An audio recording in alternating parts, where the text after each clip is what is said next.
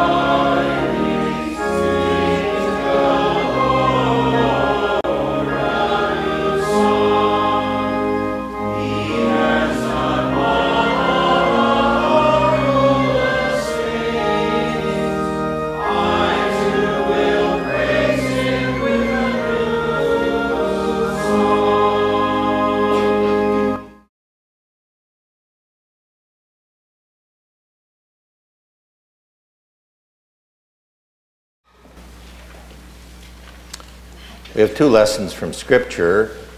Sandwiched between them is our response, which is Psalm 73. The first lesson is the basis for the sermon. It's from Exodus 14, reading as follows. As Pharaoh approached, the Israelites looked up, and there were the Egyptians marching after them. They were terrified and cried out to the Lord.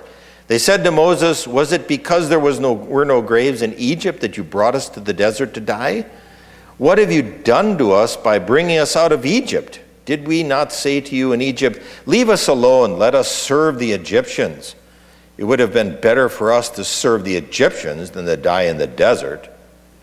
Moses answered the people, Do not be afraid. Stand firm, and you will see the deliverance of the Lord will bring you today. The Egyptians you see today, you will never see again. The Lord will fight for you. You need only be still. Then the Lord said to Moses, Why are you crying out to me? Tell the Israelites to move on. Raise your staff and stretch out your hand over the sea to divide the waters so that the Israelites can go through the seas on dry ground. I will harden the hearts of the Egyptians so that they will go in after them. And I will gain glory through Pharaoh and all his army, through his chariots and his horsemen. The Egyptians will know that I am the Lord when I gain glory through Pharaoh, his chariots, and his horsemen. Then the angel of God, who had been traveling in front of Israel's army, withdrew and went behind them. The pillar of cloud also moved from in front and stood behind them, coming between the armies of Egypt and Israel. Through the night, the cloud brought darkness to the one side and light to the other, so neither went near the other all night long. Then Moses stretched out his hand over the sea, and all that night the Lord drove the sea back with a strong east wind and turned it into dry land. The waters were divided, And the Israelites went through the sea on dry ground with a wall of water on their right and on their left. The Egyptians pursued them, and all Pharaoh's horses and chariots and horsemen followed them into the sea. During the last watch of the night, the Lord looked down from the pillar of fire and cloud at the Egyptian army and threw it into confusion. He made the wheels of their chariots come off so that they had difficulty driving. And the Egyptians said, Let's get away from the Israelites. The Lord is fighting for them against Egypt. Then the Lord said to Moses, Stretch out your hand over the sea so that the waters may flow back over the Egyptians and their chariots and horsemen. Moses stretched out his hand over the sea, and at daybreak the sea went back to its place. The Egyptians were fleeing toward it, and the Lord swept them into the sea. The water flowed back and covered the chariots and horsemen, the entire army of Pharaoh that had followed the Israelites into the sea. Not one of them survived. But the Israelites went through the sea on dry ground, with a wall of water on their right and on their left. That day the Lord saved Israel from the hands of the Egyptians, and Israel saw the Egyptians lying dead on the shore. And when the Israelites saw the great power the Lord displayed against the Egyptians, the people feared the Lord and put their trust in him and in Moses his servant. This is the word of the Lord. Please rise for the honor of the reading of the Holy Gospel lesson. This lesson is recorded in the 14th chapter of Matthew's account. It begins at the 22nd verse.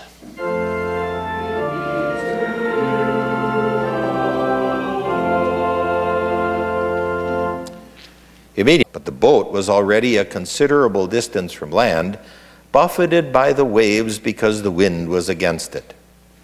During the fourth watch of the night, that would have been between three and six in the morning, Jesus went out to them, walking on the lake.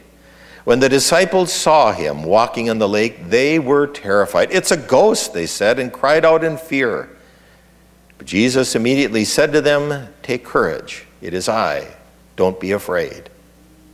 Lord, if it's you, Peter replied, tell me to come to you in the water. Come, he said. Then Peter got down out of the boat, walked on the water, and came toward Jesus. But when he saw the wind, he was afraid and began to sink, crying out, Lord, save me. Immediately Jesus reached out his hand and caught him. You have little faith, he said, why did you doubt? When they climbed into the boat, the wind died down. Then those who were in the boat worshipped him, saying, Truly, you are the Son of God.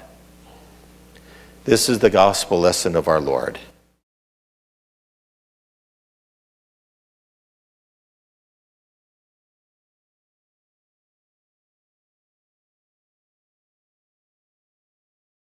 Grace and mercy and the Spirit's counsel as we consider the words from Exodus 14 that were read to you earlier, the account of the crossing of the Red Sea by the Israelites. Move on. Like, you know, get going, do something. But how? Where? This fledgling Israelite nation was in a dilemma. Fledgling because it had just come into existence days before, beginning with the night of the 10th plague there in Egypt. You may recall the, the Israelites had been in Egypt for over 400 years, most of those years serving as slaves to the Egyptian government. But now, by the will of God, through even the stubbornness of the unbelieving Egyptian Pharaoh, the king, they had been ejected forcefully, you might say, from the nation of Israel, and they began to travel eastward from the northern part of Egypt toward the land of Canaan and Palestine. And they were out in the desert. They were, however, led to led by the Lord to a spot in the desert where they had a body of water, the Red Sea on the east, to the south and to the west there were mountains, and now the, the Egyptians, having recovered their senses, so to speak, the Egyptian pharaoh sent an armored column of 600 of his best chariots, plus cavalry and infantry to chase after the Israelites to punish them and to bring them back. The, the Israelites were boxed in, they were trapped. Move on? Get going? Like where? Like how? Well, that was a time to trust the Lord. And they had every good reason to trust the Lord. Because their nation had been formed, as I said, in the night of the 10th plague. The 10th plague. That was the plague in which the Lord would bring glory and punishment at the same time on the Egyptians for their unbelief. He would send the angel of death who would pass through the land of Egypt and take the life of every firstborn, human and animal. But he would pass over the lives, the houses of the believing Israelites who had, in faith, followed the Lord's command and offered into death, sacrificed an innocent lamb, and painted its blood on the doorposts and the lintels of their houses. Prefiguring, of course, what our Lord Christ would do on the cross on Good Friday as he gave his blood to cover over the sins of his people, to provide that the angel of death would pass over us too for all eternity. Some foreigners who had come to believe in the Lord as their God, plus livestock, wagon loads of baggage, there they were, out in the desert, following the Lord's lead. But when they saw that Egyptian army closing in on them, they were terrified. Wouldn't you be too? You found yourself boxed in in situations in light in glowing faith. They turned rather in sarcasm and disdain. We heard them saying to Moses, What's the matter, Moses? Were all the cemeteries in Egypt so full that you couldn't bury us all there? You brought us out here in the desert to make a new cemetery just for us? Is that what this is all about? We never should have listened to you in the first place. We should have stayed back there and served the Egyptians. It's sure better to be a living slave than a dead corpse. So much for a glowing faith. Their faith, when pressed by many a foe, shrank. But you see the Lord's grace. In His grace, He did not bring punishment on them. In His grace, he had Moses encourage them. Moses said to them, Do not be afraid. Stand still, and you will see the deliverance that the Lord will bring to you this day. These Egyptians that you see coming after you, they will not be seen again by you. Just, you won't have to lift a finger. Moses had every reason to be so confident because he had been the Lord's instrument in all the ten plagues. The ten plagues, as you recall, were all intended in one, for, for, for one key purpose to show the superiority of the Lord, the God of the Israelites, over against the gods, the idols of the Egyptians. For example, the Egyptians worshiped the Nile River. Every spring it would flood and it would bring moisture and fertility to their fields. When it would recede, they'd plant the crops and they'd have their crops for the year. So they worshiped the river. But at the Lord's command through Moses, that river for a time turned to blood. They worshiped the sun. Ah, oh, yes, the sun. But for at Moses' command, following the Lord's direction, for three days that sun did not shine in all of Egypt. The Lord, He is God. The Lord, He is God. But Pharaoh persistently refused to accept it. Moses, on the other hand, saw this. He witnessed it. He experienced it. the Lord is God. He's the living God who cares for and rescues his people. So he said to the people, Stand firm. Don't be afraid. The Lord is on your side. Then he began to pray for the people. But the Lord said to him, Moses, time for prayer is done. Tell the people to move on. Tell the people to move on? Yes, Moses. And then he said, Here's how. Take your staff in your right hand and hold it out to the east over that body of water, and you will see the deliverance of the Lord. And in the process, The Lord, in response to Moses' obedience to his command, the obedience of faith, the waters began to part. The Lord formed a corridor through that body of water, wall of water to the left and to the right, and the seabed blown dry by a strong east wind. You know, people today aren't as biblically literate as they used to be a generation ago, but even those who know very little of the Old Testament usually know this story. Why?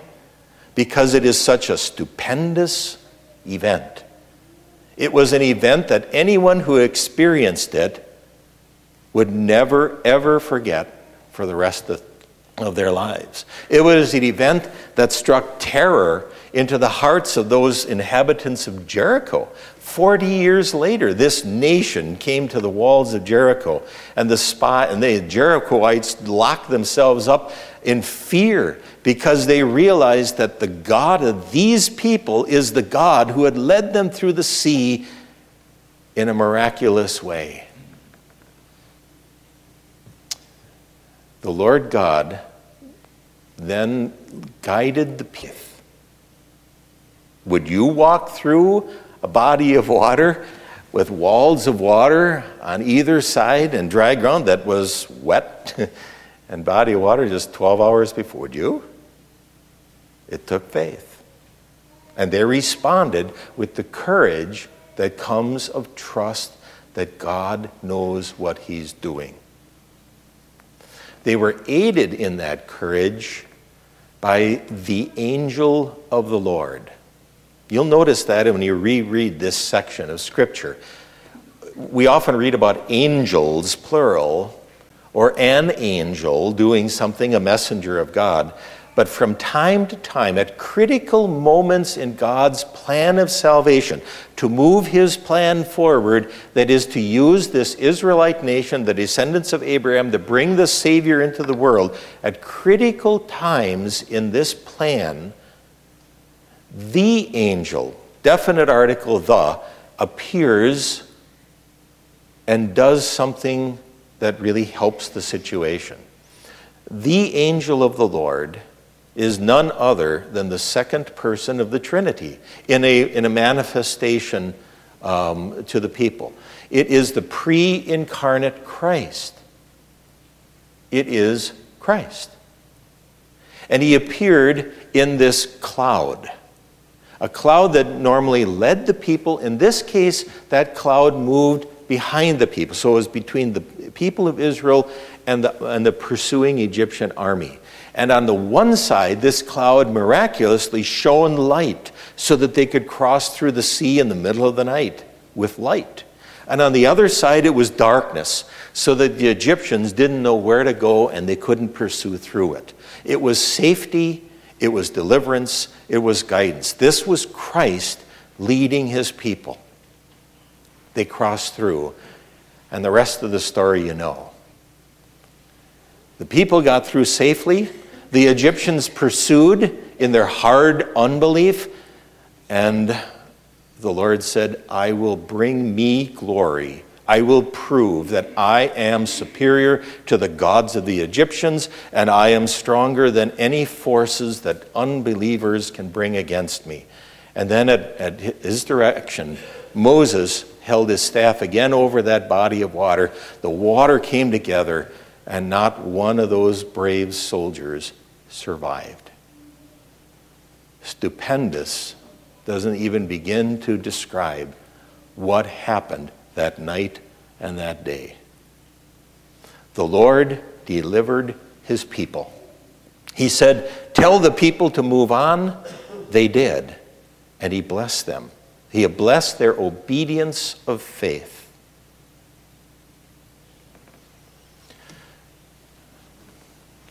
This account uh, is a key account in all of the Old Testament, isn't it? It demonstrates the formation of the new nation of Israel.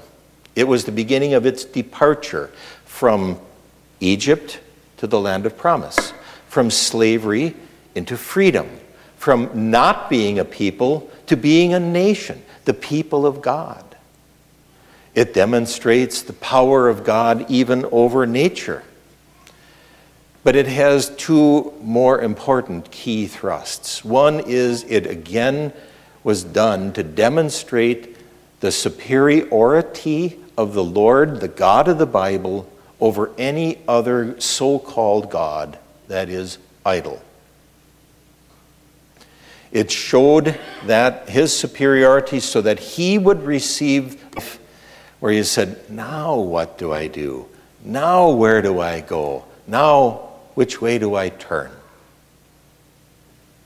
They turned to the Lord, and they turned to Moses, their leader, but not the glory, not man. That is still true today.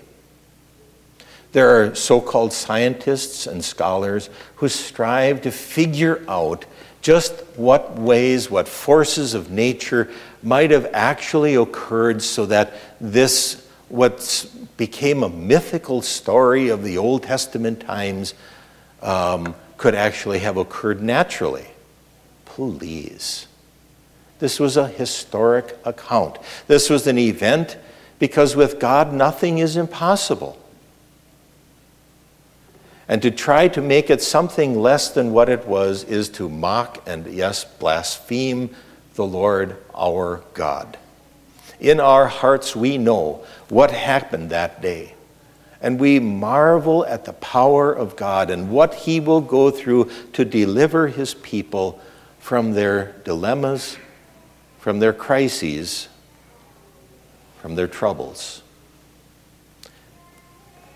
So, whether we eat or drink or whatever we do, let us give glory to God, who by his power and by his grace sustains our lives. The other part of this account is again to show that he wants us to live our lives trusting him, even in the bad times. That we would pray as we sang, Oh, for a faith that will not shrink, though pressed by many a foe, that will not tremble on the brink of poverty or woe there will come days, if they haven't come already, in the lives of each of us, you and me, in which we will face real dilemmas. We will be boxed in. We will be trapped, we feel, by the situation. We will say, What do we do? How do we get out of this? Which direction? What's, what's, what's in it for us? How, how can we get out of this? How will we get through this? Like the people of Israel, we can stand back at a distance and see what happens to the Egyptians and to the others and say, oh, they should have trusted God. But like the people of Israel who hear said, well, this is happening to me now, well, it's a real test of one's faith. He would have us look at accounts like this and others and realize that with God nothing is impossible that we should hear the encouragement of Moses, who looked back at all that God had done to demonstrate his love and his power, and say, I will trust my God, even though I don't see how he's going to get me through this. I know some way he will. And so he wants us to build up our faith because as we face those problems, he will see us through them. That kind of faith, that kind of confidence of faith is what he's looking for. And remember the angel of God. It was his presence to the camped Israelite nation that gave them the courage to cross through the Red Sea. The walls of water on either side did not scare them, it did not at least prevent them from acting according to what God had commanded. And in the same way, as we trust the God and follow His way, personally, He will lead us through those crises of life. There's also a word here for the New Testament Israel of God, the Holy Christian Church. We who are heirs of that great love and, and focused attention and grace of God, He says to the church, Move on, move forward, do your mission. And so easily it is for the church, whether it is a congregation like St. Mark or a synod like the WELS, it, he says, we say, but how? But where? We don't have the money. We don't have the reason. People are against us. We can't decide. There, there are all kinds of. And he says, stop looking at yourselves. Keep looking at me. He, the angel of God, was incarnate of the Virgin Mary, as we confessed. He did live and, and die and rise again. He does have the power. He has earned the victory. He is the Savior and our God who will lead us to the promised land too. He says simply, focus on me, on my word and sacraments, and move forward. And in the moving forward, you will fulfill the mission I have for you. Do you like the account of the Red Sea crossing? It is an account that reminds us give glory to God. May it spur you on to give greater glory to God in all things in your life. But may it also build up your confidence that the God who can do all things, do this thing too, is your God. And he will see you and he will see us through any and all trials that we face until he brings us to his promised land of heaven. Amen.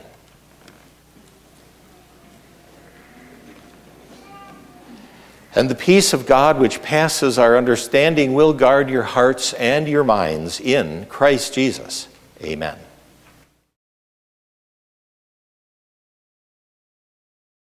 Hear our prayers, Lord, even as we join to pray the prayer you taught us. Our Father in heaven, hallowed be your name. Your kingdom come, your will be done on earth as in heaven. Give us today our daily bread. Forgive us our sins as we forgive those who sin against us. Lead us not into temptation, but deliver us from evil. For the kingdom, the power, and the glory are yours, now and forever. Amen.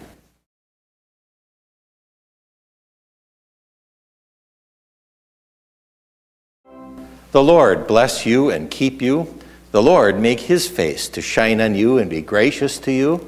The Lord look on you with his favor and give you peace.